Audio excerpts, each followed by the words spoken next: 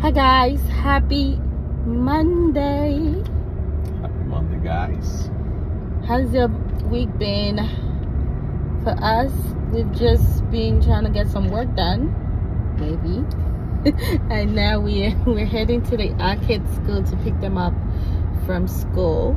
They were staying for after school program, so we are just hanging out together and doing that. You know, sometimes that's how it is. Um, Yeah, today is actually the last uh, day for Good News Club, uh, which they've been part of since the beginning of the school year. Uh, and today is going to be the, uh, the last day, Monday. They do it every Monday every month. So every uh, first uh, day of the week, which is Monday. So, and um, we love to chat with the the teachers and just you know like my just hanging out you know Yeah. Sometimes you don't have to necessarily plan a date. You just have to dress up and go. yeah And that's kind of what we look like today. You know?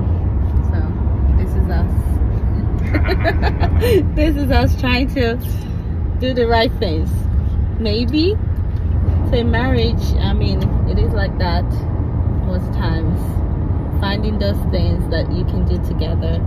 Um, there are some ways that you can enhance your relationship and I, I know one of the ways you can do that is to, to do do things together. You don't have to necessarily just be so serious all the time you know?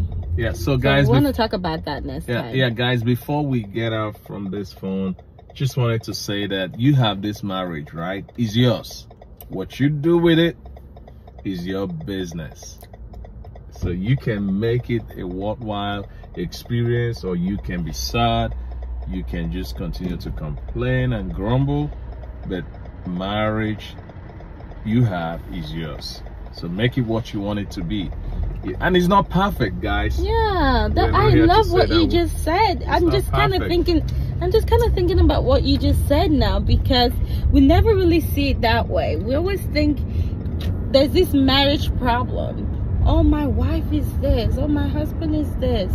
And most of the time we're the ones causing the problem.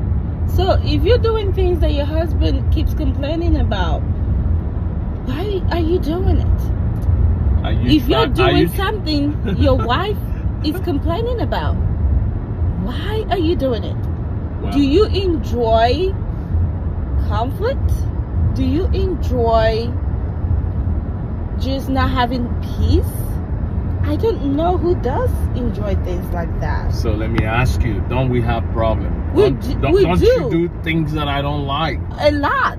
But i'm just saying now that you said it i'm actually coming to a realization of why do i do some of those things my husband does not like?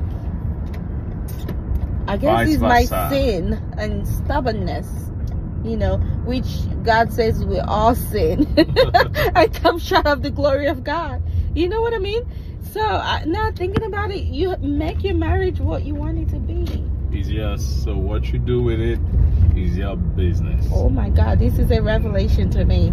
I'm just, I'm just surprised. Like I, I feel like I just learned something now that may change my entire life. wow that's I'm telling you. That's a huge Yes, I did not. I'm telling you, I did not even realize this until you just mentioned it.